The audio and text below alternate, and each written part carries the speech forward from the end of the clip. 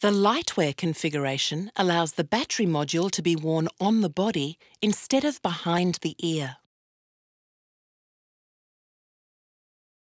Connect the LiteWear case to the fixing aid by twisting together.